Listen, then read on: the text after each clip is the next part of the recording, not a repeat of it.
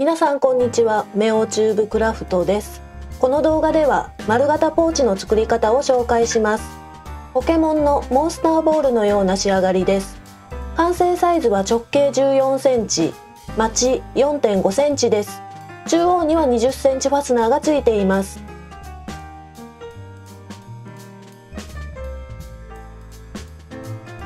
裏地を見てみましょう。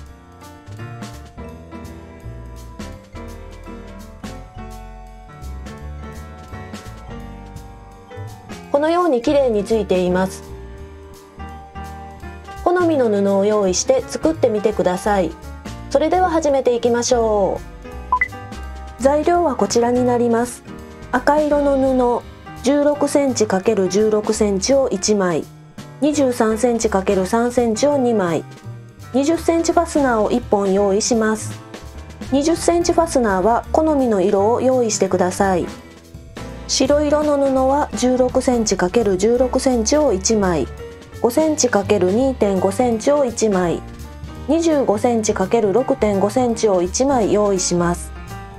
黒色の布は16センチ ×3.5 センチを2枚。6センチ ×3 センチを1枚用意します。黄色の布はすべて裏生地に使います。16センチ ×16 センチを2枚。23センチ ×3 センチを2枚。25センチ ×6.5 センチを1枚用意します。接着芯を用意します。16センチ ×16 センチを2枚。23センチ ×3 センチを2枚。25センチ ×6.5 センチを1枚用意します。16センチ ×16 センチの布を円形に切りましょう。型紙を作るのが面倒なので接着芯を利用します。半分に折ります。もう一度半分に折ります。中心から8センチのところに印をつけます。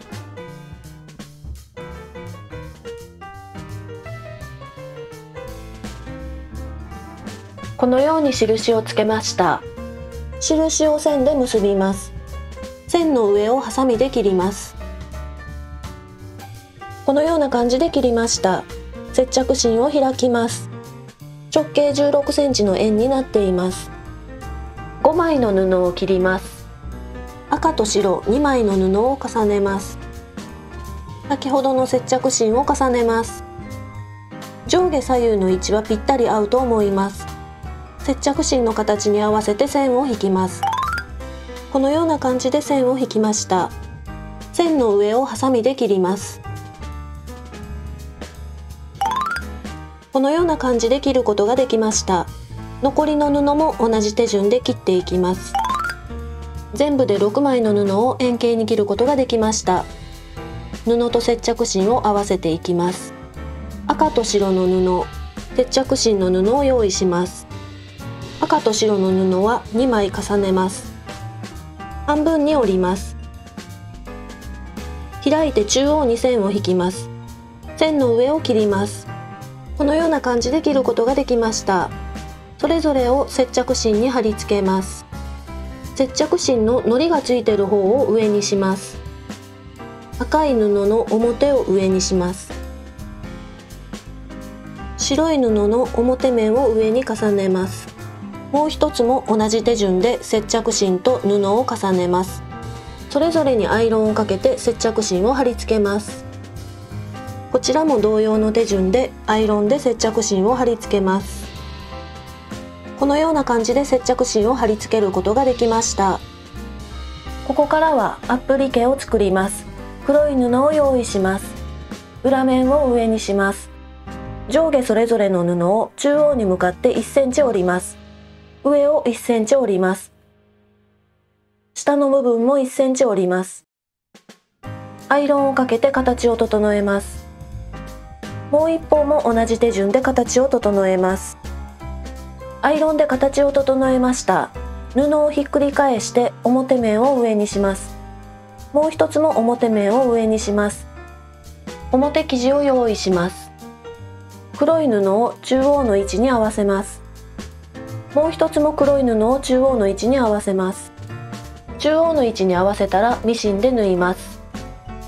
縫い始めと縫い終わりは返し縫いをします。縫い目が落ちないように気をつけて縫っていきましょう。反対側も縫っていきます。このような感じで縫うことができました。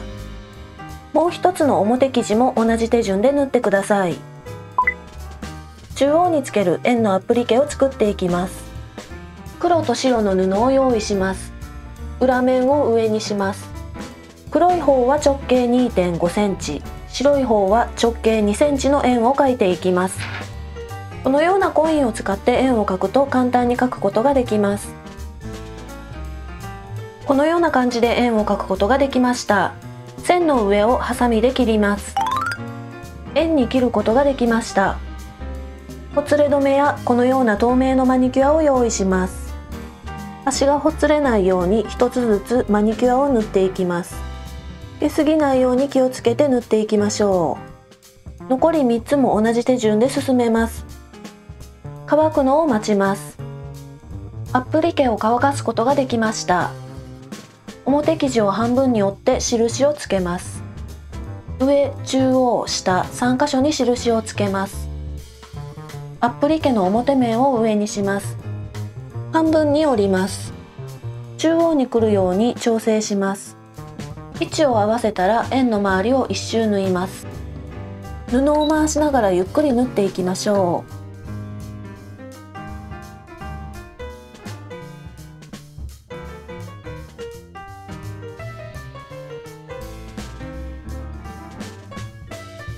う。このような感じで縫うことができました。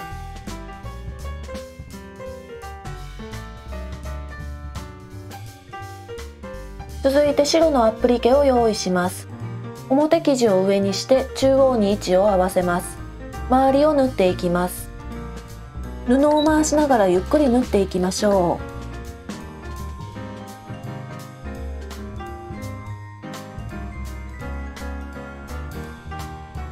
う。このような感じで縫うことができました。もう一つも同じ手順で縫っていきます。ファスナー部分を作っていきます。表生地20センチファスナー裏生地を用意します。表生地の上にファスナーを重ねます。この時ファスナーの裏側が上になります。ファスナーの上に裏生地を重ねます。布は中表の状態になっています。上部と端を揃えます。縫い代0.5センチで縫っていきます。縫い始めと縫い終わりは返し縫いをします。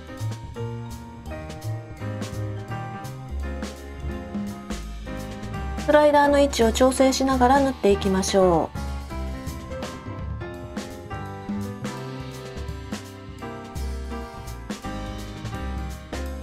このように縫うことができました。表生地を開きます。アイロンをかけて形を整えます。裏生地を開きます。金具が熱くなるのでやけどしないように気をつけてください。アイロンを当てることができましたファスナーの反対側も同じ手順です動画の通り生地を並べます表生地の上にファスナーを重ねますこの時ファスナーの裏側が上になりますファスナーの上に裏生地を重ねます。布は中表の状態になっています。上部と端を揃えます。縫い代0.5センチで縫います。縫い始めと縫い終わりは返し縫いをします。スライダーの位置を調整しながら縫っていきましょう。このような感じで縫うことができました。裏生地を開いてアイロンをかけます。反対に返して表生地を開きますアイロンをかけますアイロンをかけて形を整えることができました押さえのミシンをかけます上糸を赤色下糸を黄色にセットすると綺麗な仕上がりになります。上糸も下糸も同じ色でセットしても大丈夫です。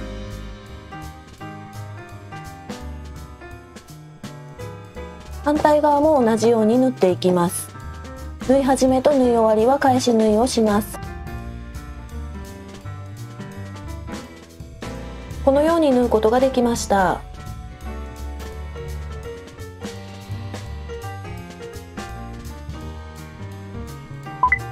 ァスナー部分と側面を取り付けます。それぞれの布の表面を上にします。ファスナーの布を裏生地に重ねます。中表の状態で重ねます。両端を揃えてクリップで留めます。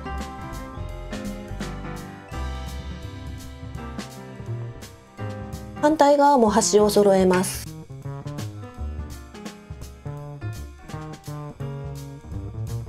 ファスナー部分と側面の長さが違うため上下の布がたるむような感じになります。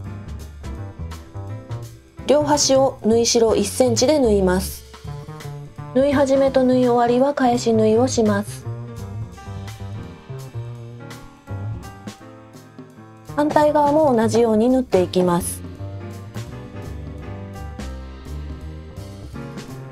このような感じで縫い終わりました。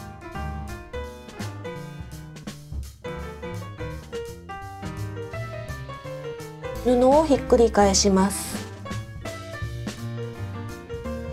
布の形を整えて押さえのミシンをかけます。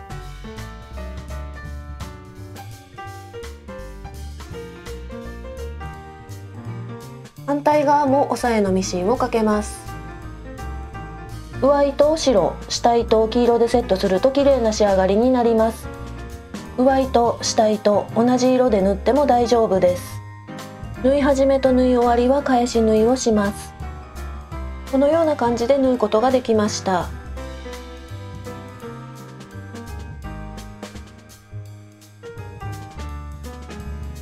側面の布は分かれている状態です。上部下部それぞれを1周仮縫いします。縫い代0.5センチで仮縫いします。ミシンの補助テーブルを外すと縫いやすいです。縫い始めと縫い終わりは返し縫いをします。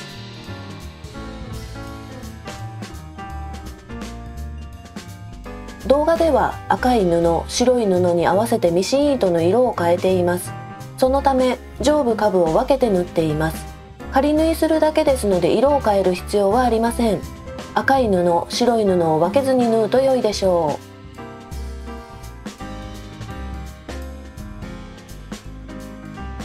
反対側も縫っていきます。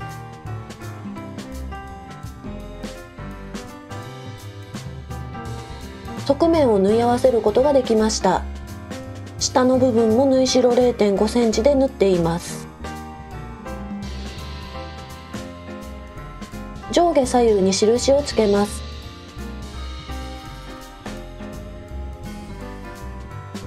このように布を合わせます。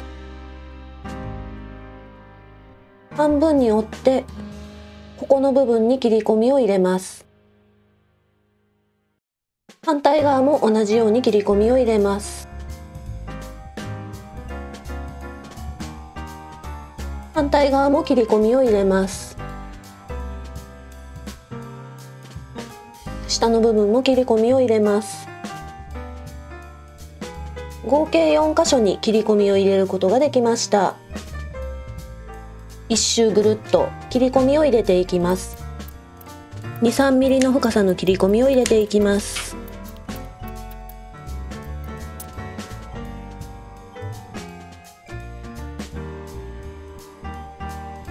反対側も切り込みを入れていきます。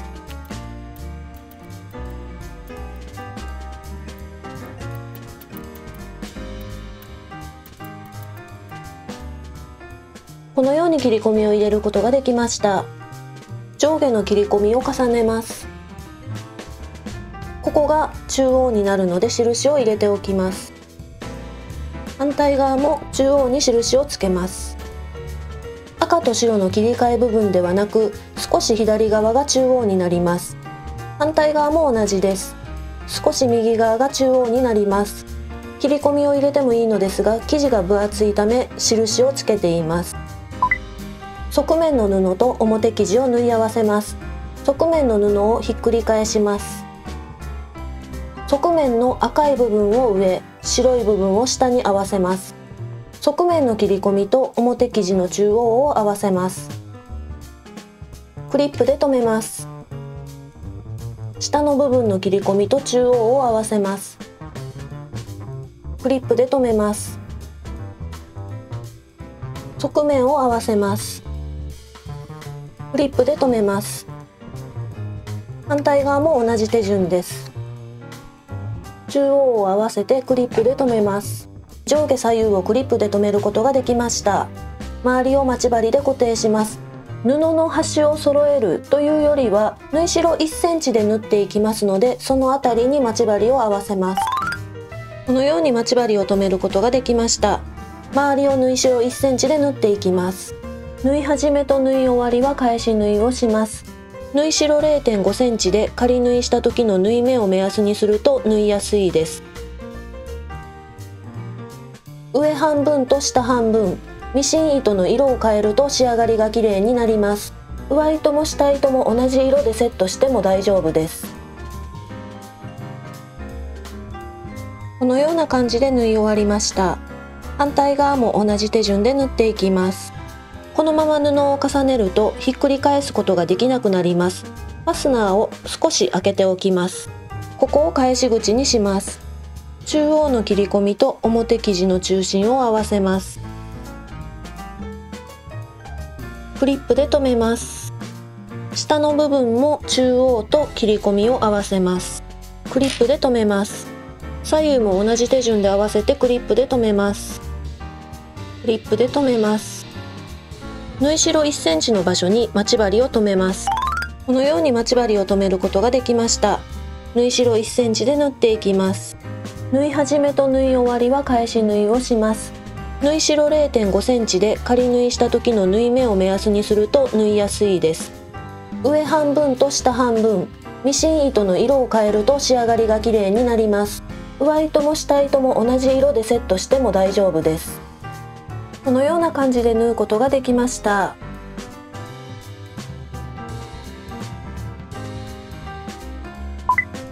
裏生地を縫い合わせます。どちらの面でも大丈夫です。このように円を下にしておきます。上の部分を小さく折りたたみます。動画の通り側面をできるだけ押しつぶします。このように折りたたんだら上に裏生地を重ねます。中表の状態になるように重ねます。底の部分と裏生地の位置をしっかり合わせます。切り込みと中央を合わせます。上部をクリップで留めます。できるだけ平らに押し込んで下部もクリップで留めます。周囲をクリップで留めます。このようにクリップで留めることができました。裏に返します。表生地の縫い目があります。縫い目の上を縫っていきましょう。できればこちらの縫い目より気持ちクリップ側の方を縫ってください。この辺りに5センチの返し口を開けておきます。縫い始めと縫い終わりは返し縫いをします。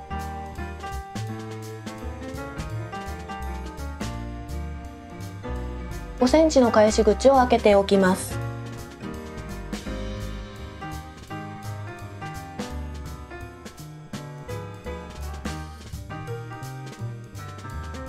このように縫うことができました。5センチの返し口が開いています。円の周りに切り込みを入れます。返し口のところは切り込みを入れません。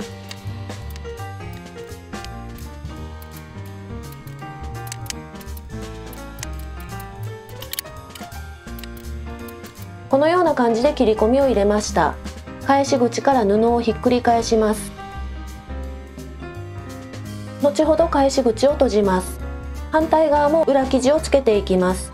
このように円を下にしておきます。上の部分を小さく折りたたみます。このように折りたたんだら裏生地を重ねます。生地は中表の状態です。先ほどと同じように上部にクリップを留めます。下もクリップを留めます。周囲をクリップで留めていきましょう。周りをクリップで留めることができました。先ほどと同じように周囲を縫っていきます。表生地の縫い目があります。縫い目の上を縫っていきましょう。縫い目より少しクリップ側を縫っていきます。この辺りに5センチの返し口を開けておきます。縫い始めと縫い終わりは返し縫いをします。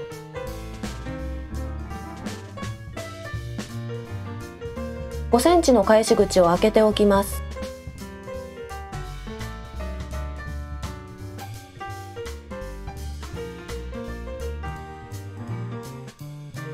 このような感じで縫い終わりました。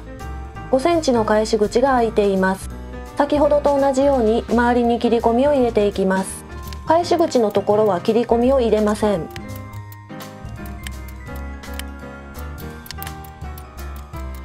切り込みを入れることができました。返し口から布をひっくり返します。こことここ2箇所の返し口が開いています。一つずつ閉じていきます。裏生地の端を1センチ内側に折ります。縫い目を覆うように重ねます。返し口の部分を整えます。縫い目が見えないようにまつり縫いをします。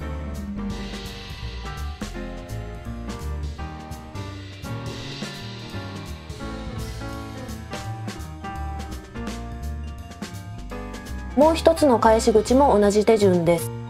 このような感じで縫い終わりました。布をひっくり返します。側面をしっかり押し出して形を整えます。アイロンをかけると綺麗に仕上がります。以上でモンスターボール風丸いポーチは完成です。ポケモンのモンスターボールのような仕上がりです。イヤホンや充電器ポケットティッシュや小物を入れることができます。裏地も綺麗についています。ぜひ作ってみてください。最後までご視聴ありがとうございました。